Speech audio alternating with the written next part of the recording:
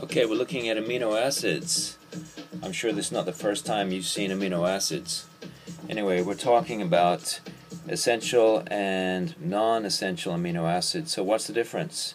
So basically we have to remember that the essential amino acids are the ones that we have to get in our diet and the non-essential amino acids are the ones that can be synthesized.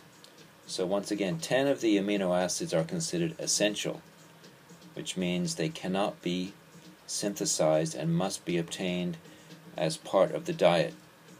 And the others um, are non essential, which means that the body can make them. So we're going to look at some of the details on how the body makes uh, amino acids and think about uh, which ones uh, are needed in the diet and what happens when we don't have them.